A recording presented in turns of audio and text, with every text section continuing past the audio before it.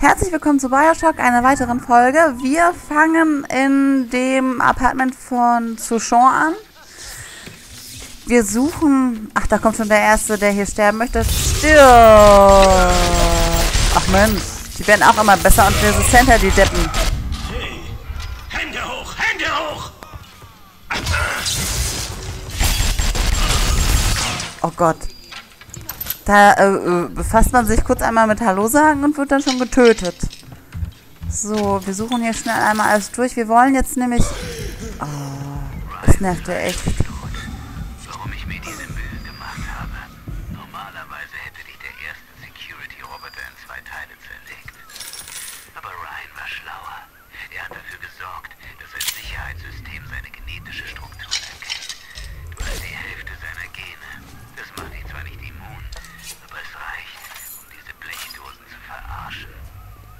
Welche Blechdosen?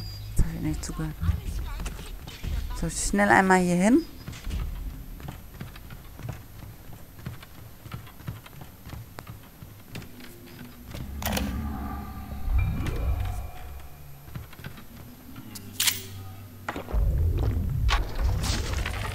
Wir haben all die Jahre geglaubt, dass wir Fortschritte machen. Skinnerboxen, Elektroschocks. Was für eine Zeitverschwendung. Bevor es Adam gab, konnte man ein Kind nicht besser abrichten als eine Boa Constrictor. Heute bekommt Souchong von Fontaine eine Lebensgeschichte geliefert, die in das Gehirn des Kindes eingespeichert wird. Das Kind ist kein Mensch, sondern eine Jukebox, die das spielt, was Fontaine gerade hören will. So, wir haben ein neues Tonikum bekommen. Clever Inventor. U-Invent Stations äh, sind ein Wunder der modernen Technik und jetzt brauchen Benutzer sogar noch weniger Rohmaterialien, um das benötigte Objekt herzustellen. Es ist keine Zauberei, es ist Clever Inventor.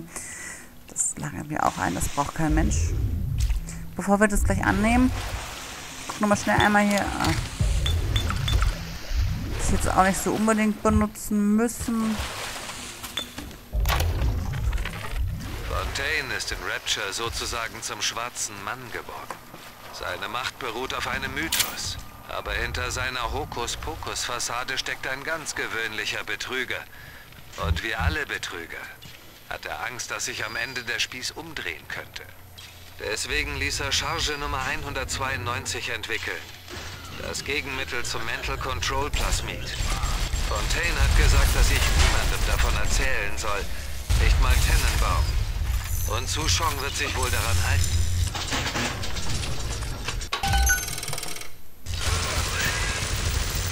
Ich wusste doch, dass da etwas faul ist. Immer diese Geheimniskrämerei von Souchon. Er hat die Charge Nummer 192 bestimmt in seinem Labor beim Apollo Square. Ich habe ihm einmal heimlich eine Probe davon gestohlen und sie in meine Wohnung im zweiten Stock gebracht. Ich wusste nie, für was es bestimmt war. Aber ich dachte mir, wenn dieser Bastard etwas hinter meinem Rücken treibt, muss ich das im Auge behalten.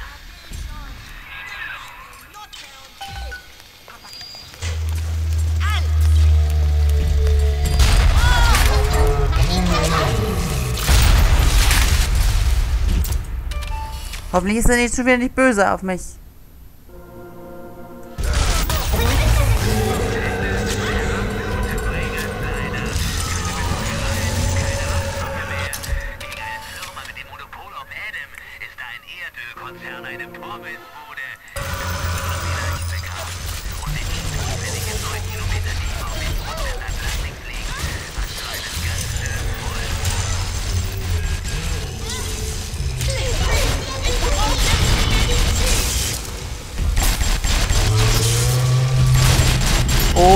Bestimmt eng.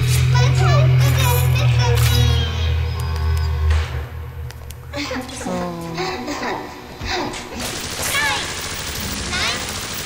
Das ist jetzt aber knapp.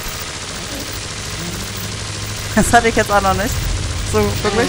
So ganz. Danke. Danke.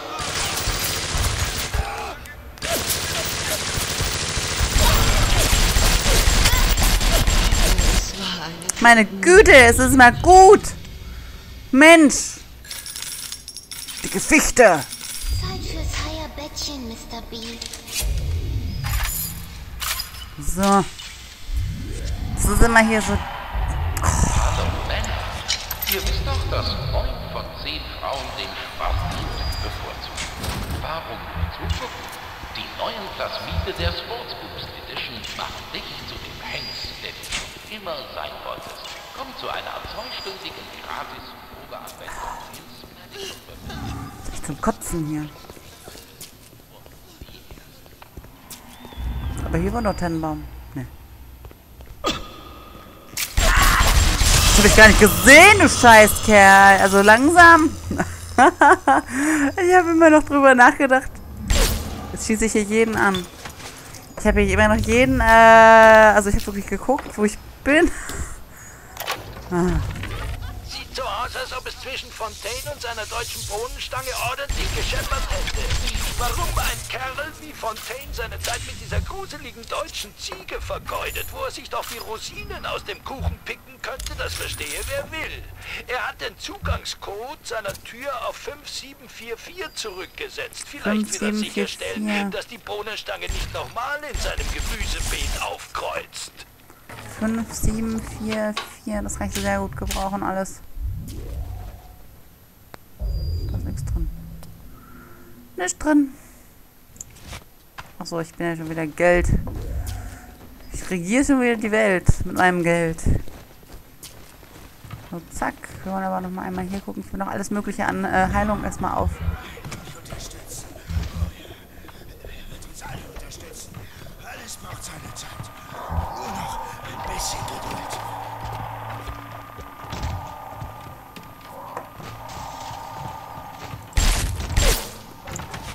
Sieh sich einer dieses Loch an.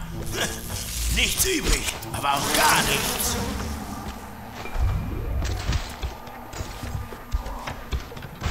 Ich scheiß dich zu dir auf!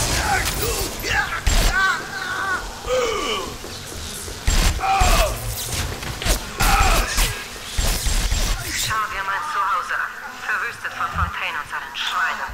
Die Proben von Charge Nummer 192 haben sie garantiert in sein Penthouse gebracht. Der Eingang ist in der Lobby, aber er ist immer abgesperrt.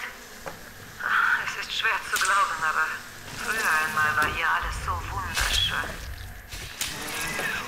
Ja, so kann es einem gehen, wenn solche, ähm, Entschuldigung, solche dämlichen Leute kommen, ey. Es ist unfassbar.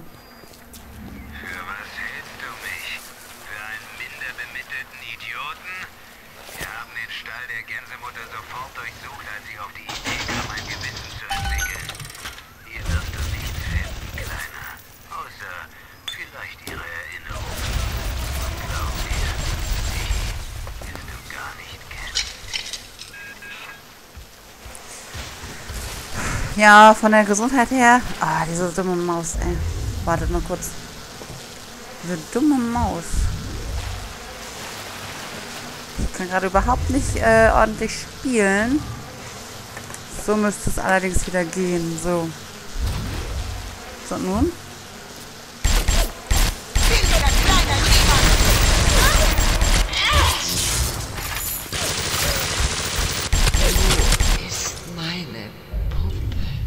Weiß ich leider nicht. Du machst mich noch ganz schön kaputt. So. Jetzt muss ich wahrscheinlich da rein in den dummen Turm. Ich habe ja gerade eben das, äh, genau, ich habe ja das, ähm, den Code bekommen. Äh, ich würde nur sagen, bevor ich jetzt wirklich hier äh, drauf gehe, werde ich nochmal... Ich spiele unmöglich momentan. Ist das Portemonnaie etwas zu dünn? Savings bietet Ihnen eine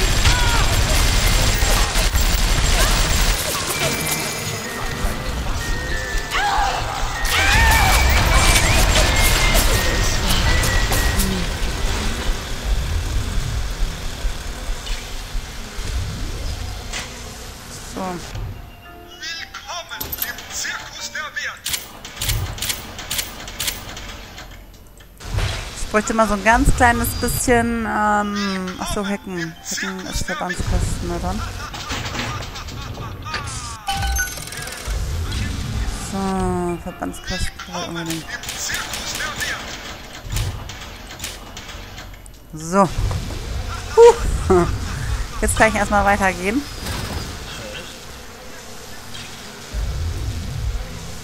Ich weiß, was du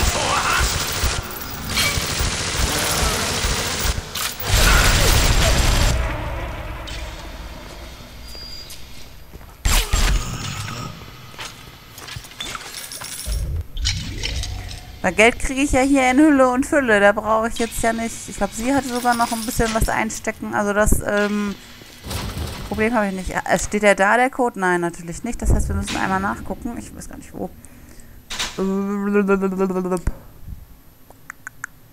Ich glaube hier. Fünf. Sieht so aus, als ob es zwischen Fontaine und seiner deutschen Bohnenstange ordentlich gescheppert hätte. Warum ein Kerl wie Fontaine seine Zeit mit dieser gruseligen deutschen Ziege vergeudet, wo er sich doch die Rosinen aus dem Kuchen picken könnte, das verstehe wer will. Er hat den Zugangscode seiner Tür auf 5744 zurückgesetzt. Vielleicht will er sicherstellen, dass die Bohnenstange nicht nochmal in seinem Gemüsebeet aufkreuzt. Hä? Achso, wir bewegen uns nach oben. Aber du bist nicht wütend. Doch, wenn man ein Leben rettet, rettet man die ganze Welt. Ich stelle den Kindern hier ein Obdach zur Verfügung. Aber du bist ihr wahrer Retter. Trotzdem gibt es noch immer viel zu tun.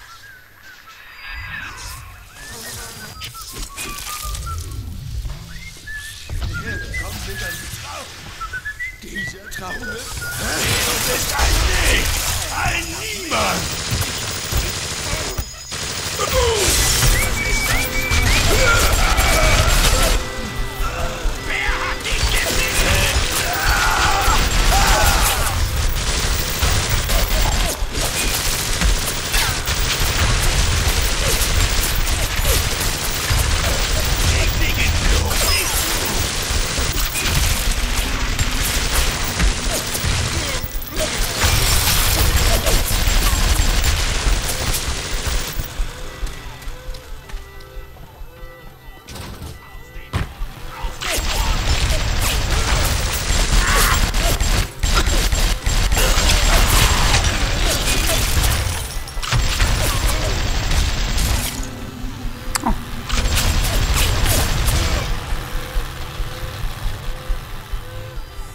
So, verstecken.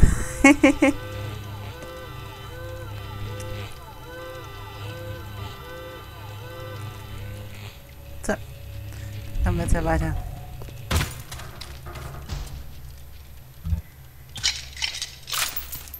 Das ist echt scheiße. Ich wollte dich doch eigentlich... Eigentlich wollte ich die, ähm... Ich wollte sie eigentlich hacken, aber... Naja, dann geht's mal weiter erstmal.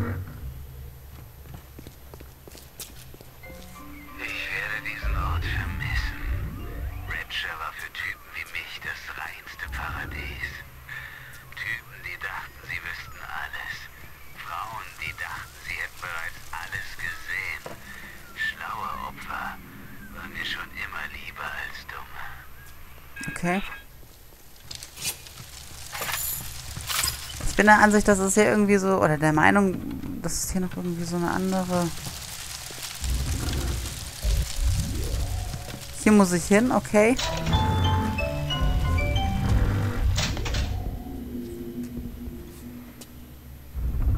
Das ist die Genbank.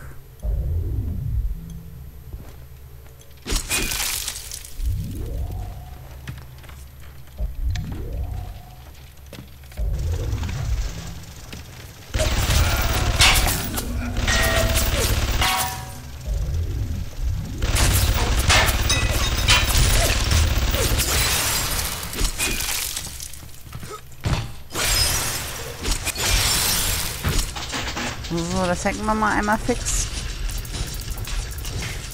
Muss nachher auch noch zu einer Hochzeit. Naja, so.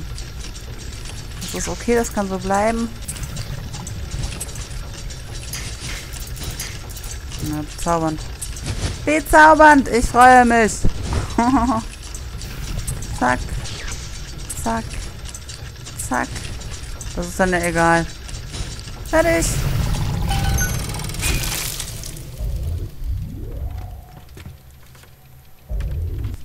Achso, ich hätte auch gar nicht darüber hüpfen müssen, sondern ich hätte auch einfach nur, ähm...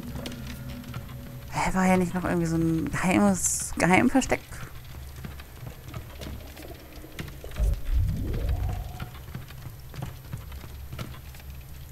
Das wird wahrscheinlich super schwer sein. Na dann.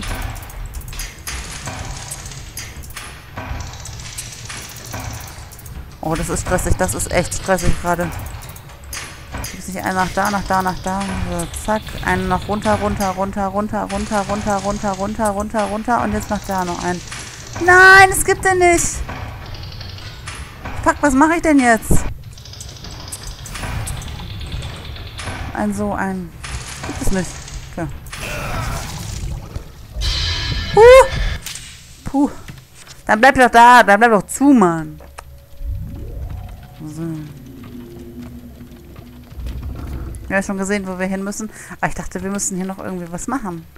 Oder war das äh, in einem anderen Teil? Ich glaube schon in einem anderen Teil war das. Weil hier sieht es ja wirklich gar nicht so aus, als könnte man noch irgendwie was machen.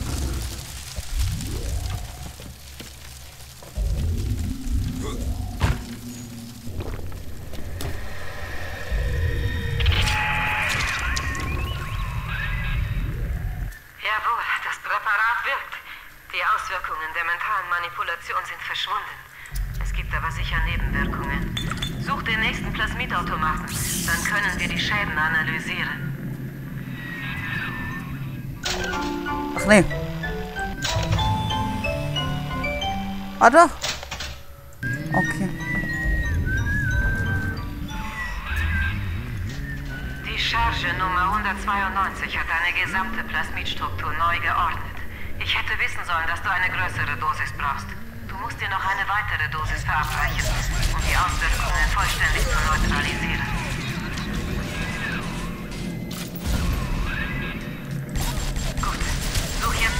Labor in den Suites. Dort findest du ohne Zweifel mehr von der Charge Nummer 192.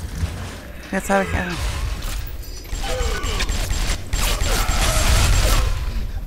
So. Dann haben wir schon alles fertig gemacht.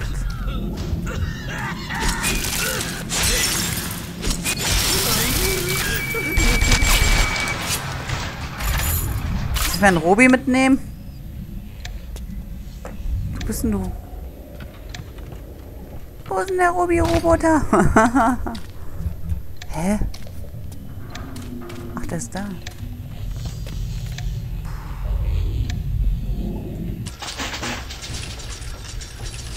Na dann wollen wir mal.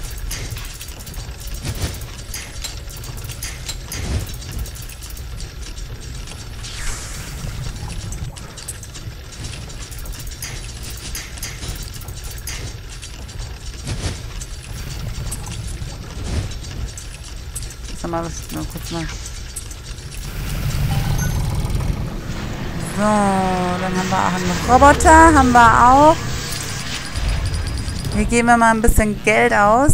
Beziehungsweise, ich glaube, da kommen wir nie wieder hin. Und auch mal mit. Haben wir den überhaupt, den Roboter gleich noch? Ich weiß es nicht mehr.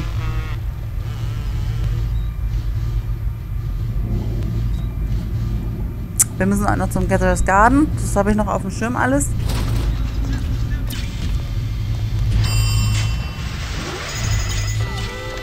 Und jetzt geht's hier ab. Stift im Mund. Gehabt. Das interessiert uns aber alles gar nicht. Wir gehen jetzt erstmal weiter. Irgendwo, wo es ein bisschen ruhiger ist. Ugh.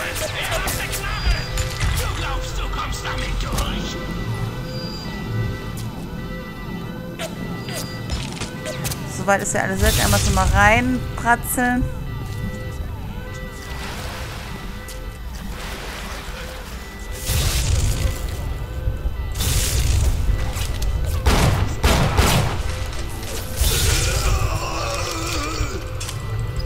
Schieß doch mal, du kleiner Depp.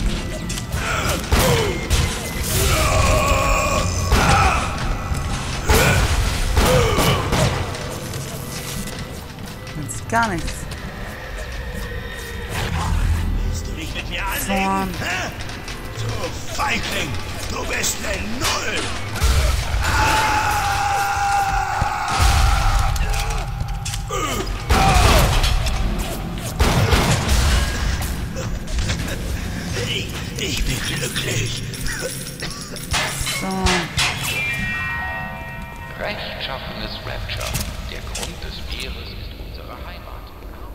Ein so ein beschissener Durcheinander hier.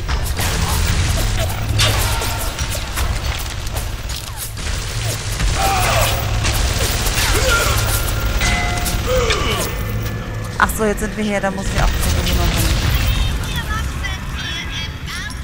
In dem Zustand, in dem Fontaine sich versetzt hat, ist es zu gefährlich, deine Plasmidie zu modifizieren. Du musst mit dem zurechtkommen, was du hast. Ja.